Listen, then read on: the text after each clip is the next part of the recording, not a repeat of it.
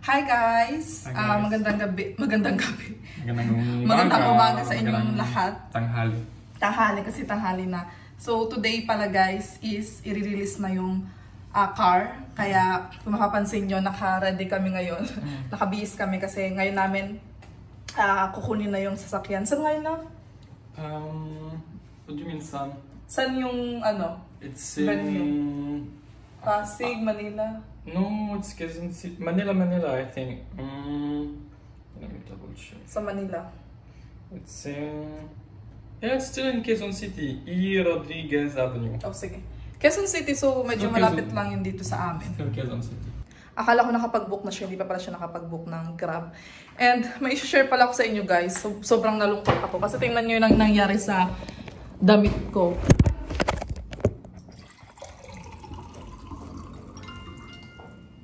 Ito guys. Kung nakapapansin nyo. Isa to sa mga pinaka-paborito kong damit. Kasi ano siya eh.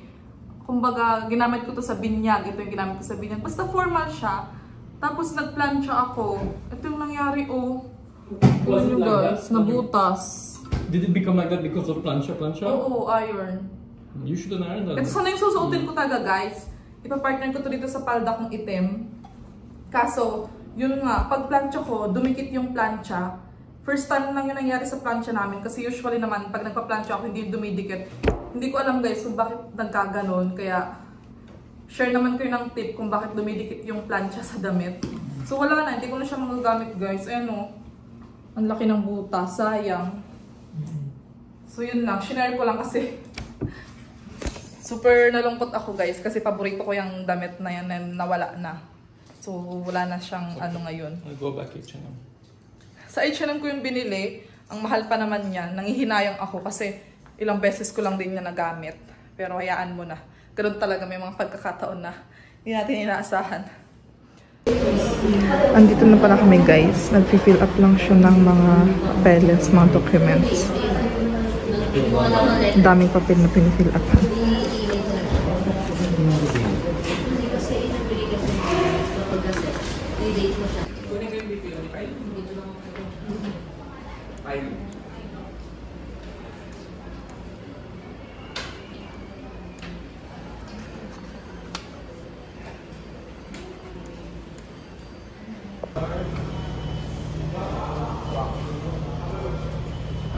Warning device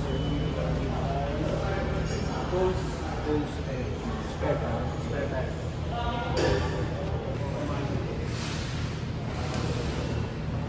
For the wipers and things. Ayun guys, tine-check na lang nila yung car.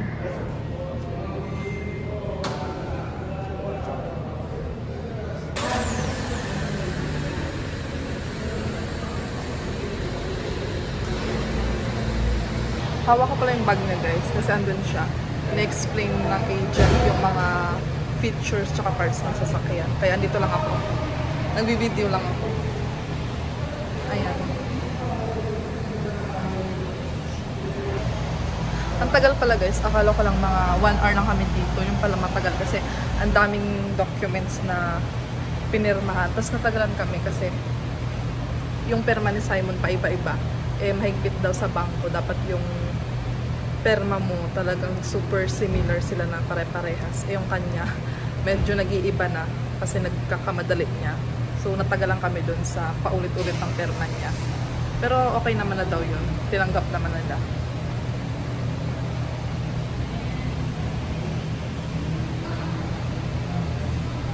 Hi guys! So finally, andito na kami sa aming car. How do you feel? I'm feeling really good. A little bit stressed. A little stress. Na-stress siya ng konti guys kasi nga syempre ang tagal niya rin hindi na nakapag-drive. So medyo nakangkapa naman siya ulit sa pag-drive.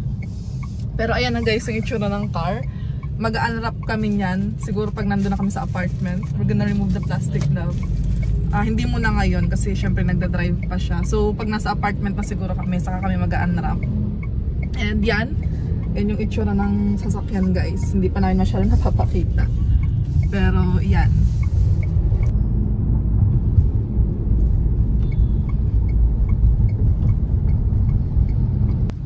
doon lang talaga kami natagalan guys sa pirma pirma nga yung sinabi ko kanina kasi ah ang tawag dito, yun, yung pirma niya daw medyo nag-iiba.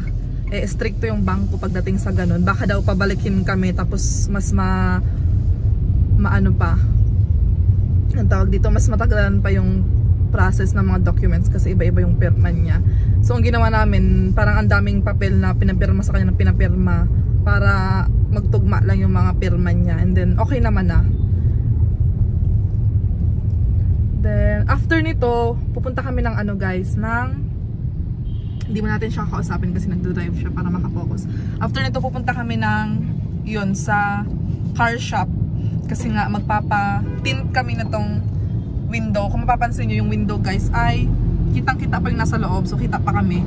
Eh, ang gusto ni Simon yung hindi kami nakikita sa loob. Kaya, magpapa-tint kami yung dark dark window. Tapos,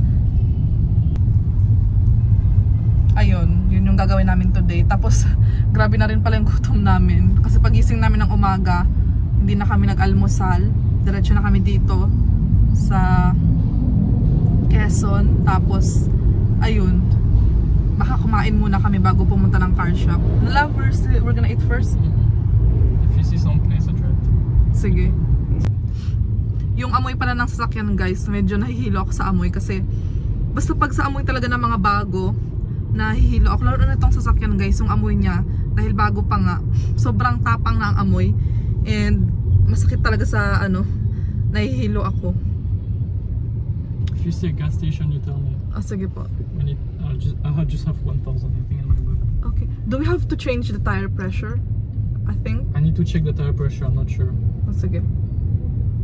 Kasi pagkakalam namin yung tire pressure ng mga bagong release na sasakyan guys ay mataas. So kailangan namin siyang ipababa. Kasi dito sa sasakyan na to, yung ano lang niya, yung kumbaga yung ang tawag dito? Hindi ko maisip yung salita. Yung recommended lang na tire pressure is 33 ata yun. So, i-check na daw kung ano yung tire pressure nito. Grabe na yung gutom ko. Merong Jollibee sa unahan lang namin. Malapit lang. Siguro dyan na lang kami kakain. Kasi hindi na namin kaya yung gutom namin.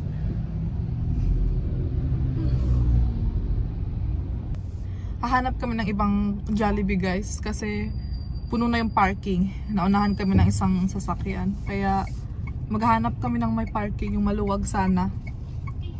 Na-open din pala yung ano niya guys, yung roof. So meron siyang open sunroof. Binuksan ni Simon kasi gusto niya. Pero ako, mas prefer ko naka-close siya guys. Eh gusto ni Simon buksan kaya gusto niya daw kasing matry na. So binuksan niya. Ayan.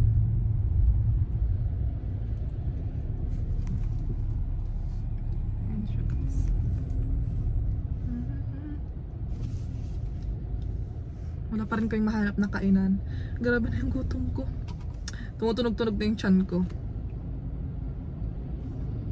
It's not stop. Mm. Medyo traffic dito sa part na to. Be careful of ha.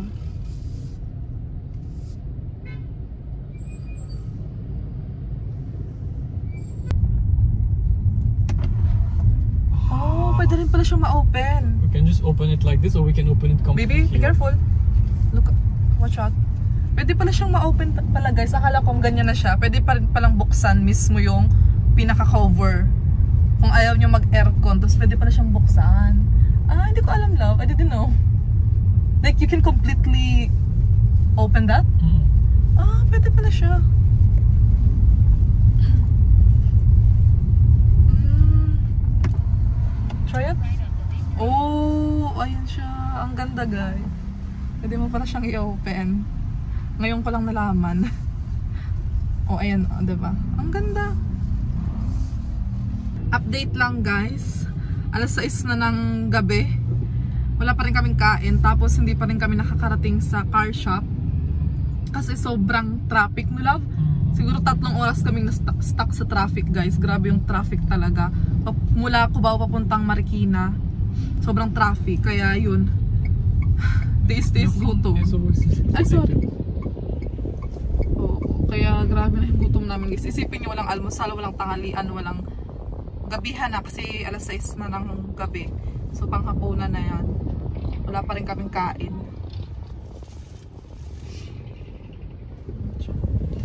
Eh ako pa naman hindi ako makataste ng ano ko, gutom ko pag gano'n nakahaba yung ano. Anything since the morning. Yeah, I told, since the morning we didn't eat. Kaya ko naman tumiis ng gutom, pero yung ganito ka tagal na guys, na halos buong araw nang walang kain, nakakapanghina na. Nanghihina na yung katawan ko. Kailangan ko ng kanin. Gusto ko sanang bumili ng, bumi, gusto namin bumili ng mga ano, In 700 street meters, food. turn left on Quick, Mayor Hill quick, Fernando Avenue. speedball.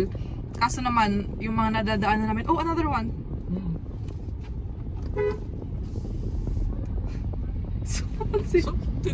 So. Usually, when you have the same car, like, and it's a little special, especially people, for example, people with the Yaris Cross, they're always so sad you didn't.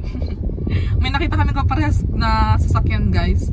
Tapos nag-beep siya. Kaso hindi nag-beep back yung ano, yung driver. Maybe it's only for Yaris Cross. Diba? I, I always see in a group, you know, like when you have the same car, you. Yung beep beep. Ano ba sabi ko kanina? Yun, bibili sana kami ng street food guys. Kaso nga yung mga nadadaanan namin na s- quick quick, fishbowl, ano, oo, hindi pwedeng tumigil yung sasakyan kasi masikip. Oh, Ay, ano? I rode here when I was on my uh, driving lesson. Yeah. Kaso hindi pwedeng basta ka lang tumigil, 'di ba? Kasi kailangan mo sumunod sa ano ng kalsada. Hindi kami makatigil-tigil. Kaya tiis gutom muna ngayon. Malapit na kami guys. And buti na lang may mga malapit na kainan. May Max, may Jollibee, may McDo. So pwede kaming maglakad lang mula sa shop. Tapos pala yung kapatid ko guys, yung kuya ko, wala na siya nung kahapon no love. Ay, nung dalawang nung nakaraang araw pa pala. Two days ago, umalis na siya ng apartment namin kasi um, nasa Makati na siya ngayon nag-board. So nag-bed space lang siya guys kasi sobrang mahal ng mga apartment sa Makati. Eh doon yung nahanap niyang bagong trabaho niya sa Makati yung kanyang bagong trabaho. Kaya doon siya naghanap ng um, bed space. So hindi pa niya kaya yung apartment dahil alam niyo naman sa Makati guys parang mamahalin talaga doon at mahirap maghanap doon ng murang apartment. Kaya yung nakuha niyang bed space ay 4k monthly. So 4k mahal na rin siya guys. Kaya nga walang choice yung kapatid ko. Wala talaga siyang mahanap ng below din sa 4k so yun na yung kinuha niya. In And- 200 meters, yun. You'll arrive. wala na siya sa amin ngayon.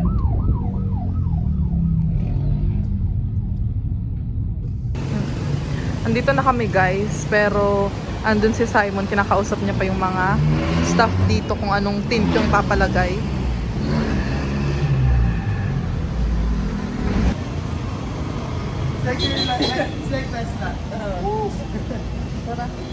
So babalikan na lang namin siya guys kasi kakain pa kami dahil wala kaming kain.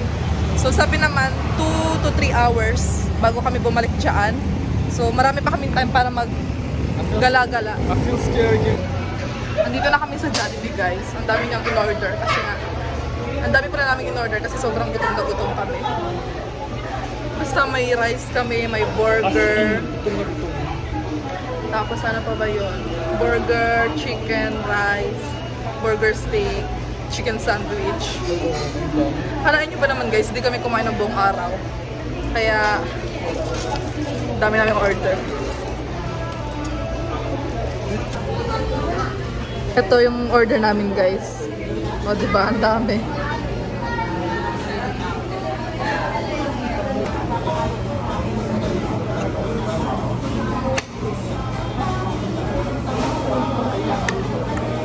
putar na cena.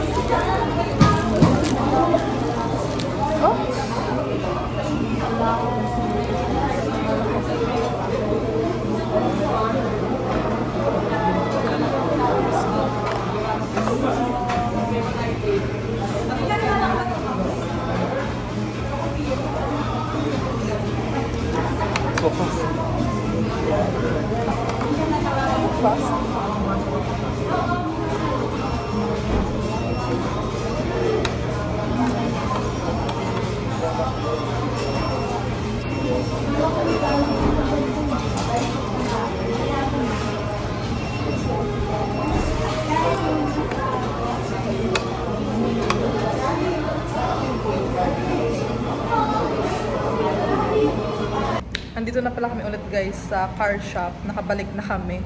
Kasi malapit lang naman yung dito. Mula Jollibee. Tapos naglakad lang namin punta dito.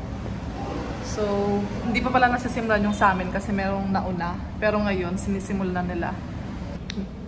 Ito yung nauna, paalis na siya.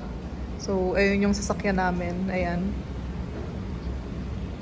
Siguro baka matapos to mga 10 or 11 na ng gabi. Buti meron naman sila ditong antayan. So, dito lang kami nag-aantay. Ayan siya. Meron ding TV kung gusto mong manood ng Netflix. Tamang antay lang kami. Antay-antay lang. Iyan na guys, yung sasakyan namin, sunod na.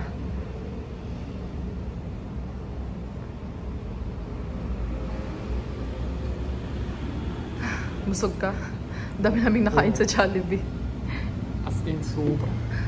Pero hindi namin nakain yung isang burger, di ba love? Nilagay na lang namin sa bag niya. Tapos siguro bukas initin na lang yun sa microwave. Para bukas.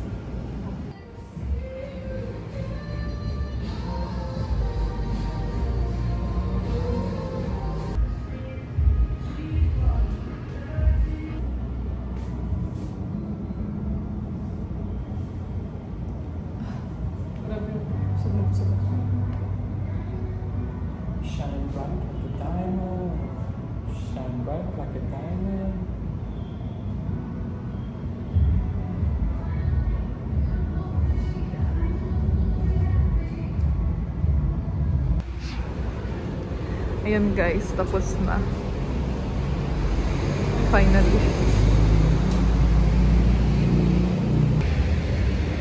Finally guys, natapos na. Siguro mga Tapos na! dalawang oras din. Oh, see? Ayan guys, ah, sila na yung maglalabas ng ano, ng sasakyan.